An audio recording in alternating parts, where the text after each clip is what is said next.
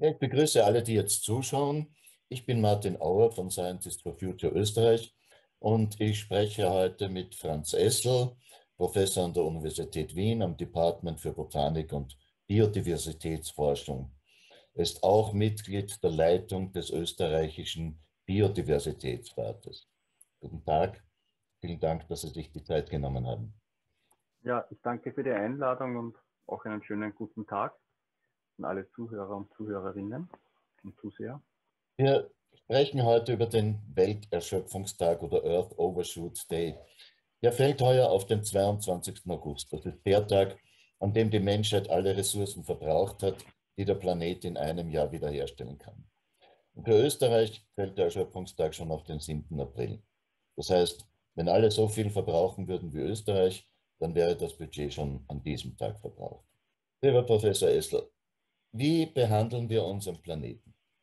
Es gibt inzwischen mehr menschengemachte Dinge als Biomasse. Vor allem Beton und andere Baumaterialien, aber auch Metalle und Plastik. Was macht das mit dem Planeten? Und, und von allen Säugetieren sind nur 4% Wildtiere. Den Rest machen wir Menschen und unsere Nutztiere aus. Äh, wie kann das weitergehen? Also die Zahlen, die Sie genannt haben, illustrieren vor allem eines, nämlich dass ähm, das Ökosystem Erde, also die globale Biosphäre, geprägt ist mittlerweile sehr, sehr stark durch eine Art, die in dieser Biosphäre lebt, nämlich durch den Homo sapiens. Ähm, und das zeigt sich in unterschiedlichen Indikatoren. Sie haben einige angesprochen. Ähm, und das ist natürlich grundsätzlich, muss man mal bedenken, äh, eine solche Dominanz einer Art geht natürlich auf Kosten anderer Arten. Letztlich insgesamt des Ökosystems Erde und wir sind natürlich auch dabei, ich glaube, das ist auch evident, da gibt es noch andere Zahlen, die das in einer ähnlichen Weise zeigen, äh, die Grenzen, die dieses Ökosystem Erde hat, die durchaus breit gemessen sind und in deren diesen Grenzen hat sich auch die Evolution des Menschen abgespielt und auch der Aufbau des, äh, unserer Kultur, unserer auch äh, technisierten Kultur, ähm, erstmal zu sprengen. Ja?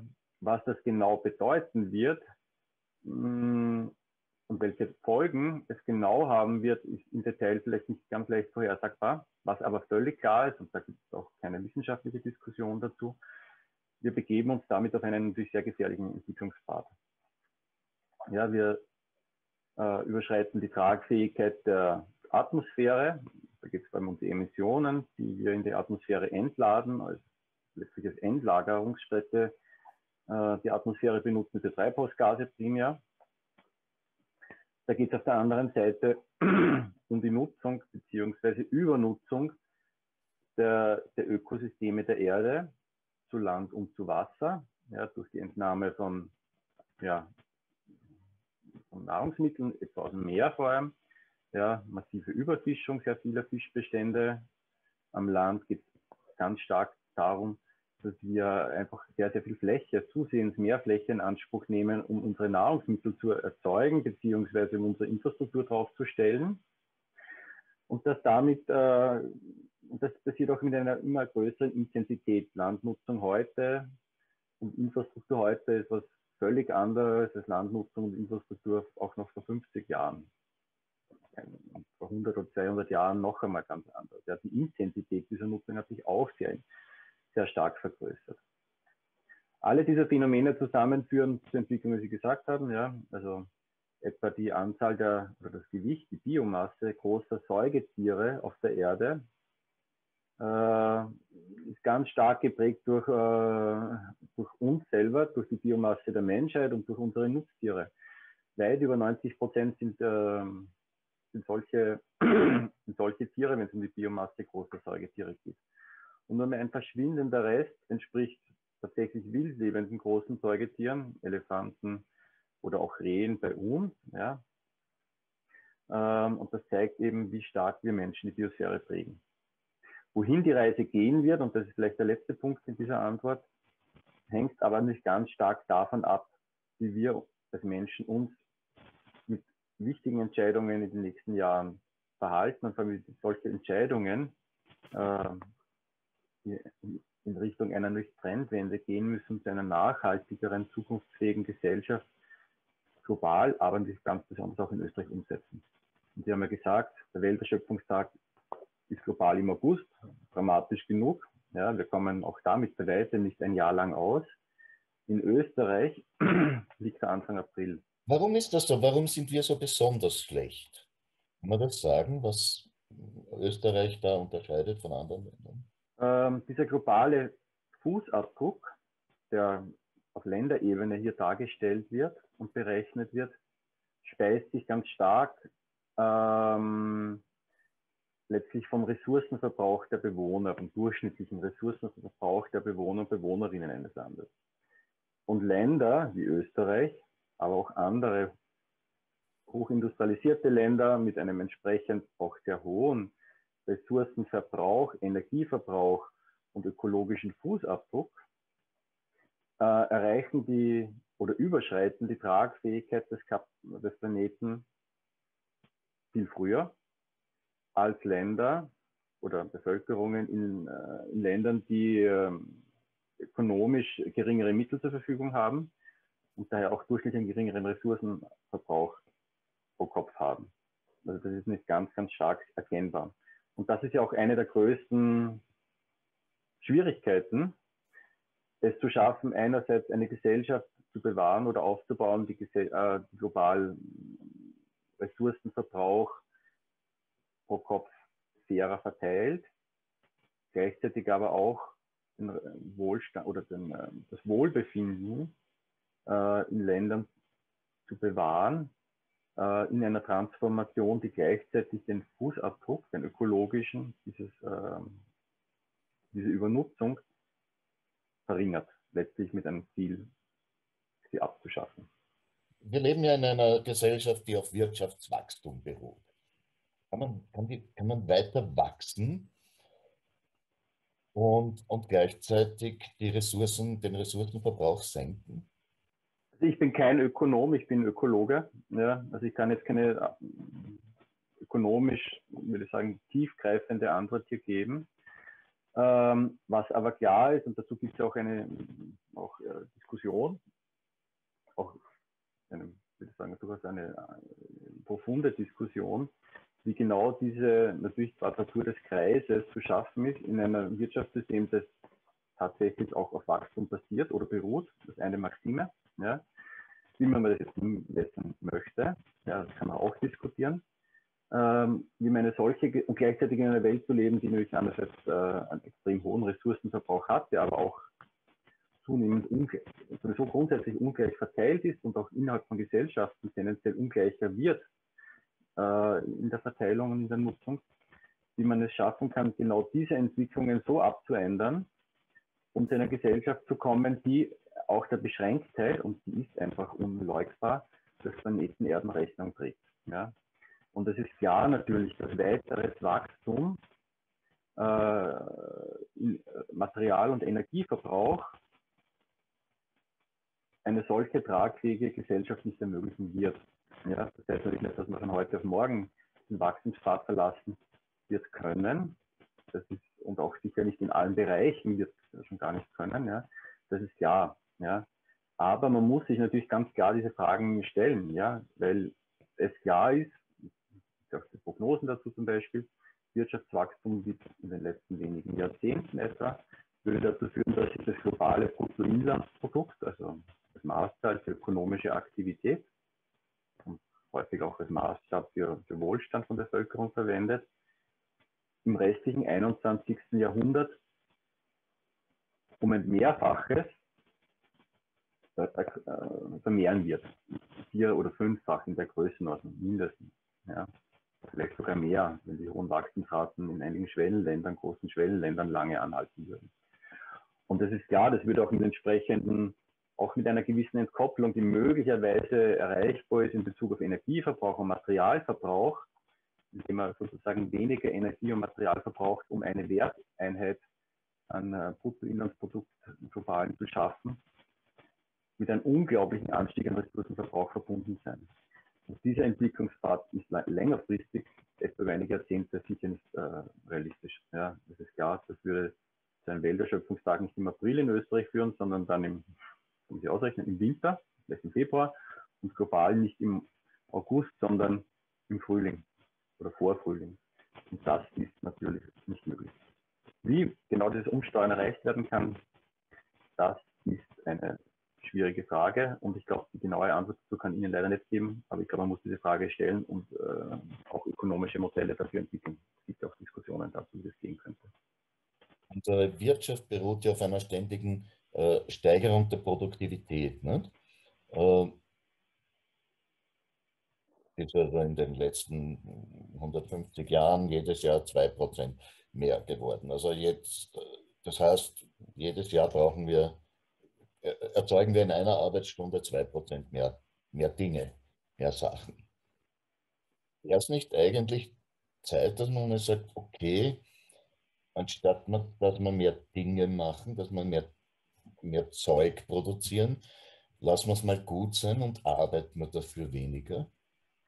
Ja, das sind natürlich grundlegende Fragen, wie wir unser Wirtschaftssystem organisieren wollen, was gesellschaftliche Prioritäten da auch sind und sein können.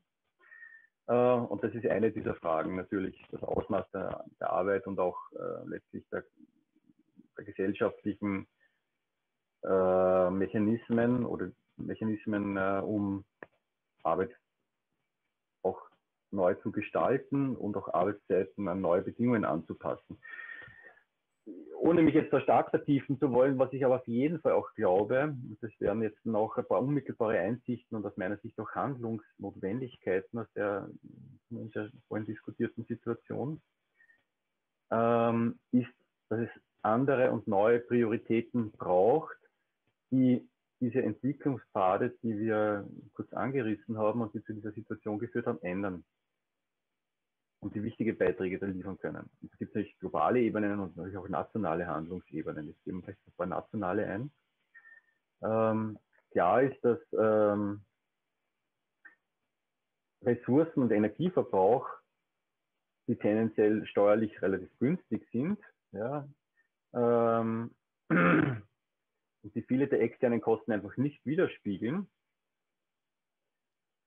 äh, den tatsächlichen Folgekosten Rechnung tragen müssen, auch in ihren, ihren Marktpreis. Ja, und wenn es keinen Marktpreis dafür gibt, keinen angemessenen, dann muss es durch entsprechende Eingriffe staatlicherseits dazu führen, dass es hier Rahmenbedingungen gibt, die dazu führen, dass das Preisgestaltung auch tatsächlich die externen Kosten widerspiegelt. Also es geht konkret um CO2, oder Treibhausgaspreise, äh, ja, letztlich um eine ökosoziale Steuerreform, das ist auch ein Programmpunkt im Regierungsprogramm ja, der heutigen österreichischen Bundesregierung.